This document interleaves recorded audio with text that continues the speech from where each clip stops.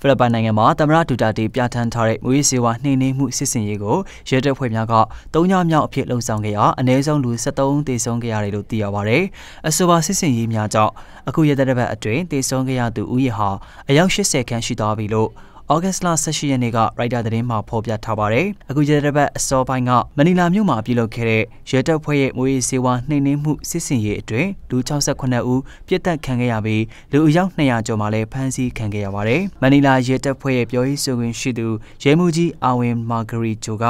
ဩဂတ်လ16ရက်နေ့နှောင်းပိုင်းကစတင်ပြုလုပ်ခဲ့တဲ့ရဲတပ်ဖွဲ့ရဲ့စီးနှင်းမှုတွေကိုကြီးမားတဲ့ရာဇဝတ်မှုနှိမ်နင်းရေးစစ်ပွဲတစ်ခုအဖြစ်သုံးနှုန်းခဲ့ပြီးရာဇဝတ်သားတွေဘက်ကပြန်လည်ခုခံခဲ့တာကြောင့်အခုလိုလူသေးဆုံးမှုတွေဖြစ်ပွားခဲ့ရတာဖြစ်တယ်လို့ပြောပါရယ်ဆက်လက်ပြီးအဲဒီစစ်စင်ရေးဟာမွေးစေးတစ်ခုတည်းကိုသာမကပဲလမ်းတွေမှာဖြစ်ပွားတဲ့လူရဲမှုတွေလိုရာဇဝတ်မှုတွေကိုပါနှိမ်နင်းမှုအတွက်အကြီးကရည်ရွယ်ခဲ့တာဖြစ်တယ်လို့လည်းသူကပြောပါရယ်သူတို့ဘက်ကပြင်းပြင်းထန်ထန်ခုခံလာရင်တော့ရဲတပ်ဖွဲ့ဝင်တွေအနေနဲ့ကုကုကိုကာကွယ်ရတော့မှာဖြစ်တယ်လို့လည်းမာဂရီဂျိုကပြောပါရယ်ပြီးခဲ့တဲ့တနေ့ကျော်ကဖိလစ်ပိုင်နိုင်ငံမှာသမ္မတအဖြစ်ဒူတာတေစတင်တာဝန်ယူခဲ့ပြီးနောက်ပိုင်းဝေစီဝါတိုက်ဖြတ်မှုတွေကိုအဓိကလှုံ့ဆော်ခဲ့တာကြောင့်လူပေါင်းထောင်နဲ့ချီပြီးတေဆုံးခဲ့ရသလိုနိုင်ငံတကာရဲ့သတိပေးမှုတွေလည်းထွက်ပေါ်လာခဲ့ပါတယ်။သမ္မတဒူတာတေဟာရာဇဝတ်မှုတွေနဲ့ဝေစီဝါမှုတွေကိုအင်အားသုံးပြီးအမြင့်ပါမကြံတိုက်ဖြတ်သွားမယ်ဆိုတဲ့မဲဆွယ်စည်းရုံးမှုနဲ့အတူသမ္မတရွေးကောက်ပွဲမှာအနိုင်ရရှိက2016ခုနှစ်ဇွန်လ30ရက်နေ့မှာဖိလစ်ပိုင်သမ္မတဖြစ်လာခဲ့တာလည်းဖြစ်ပါတယ်။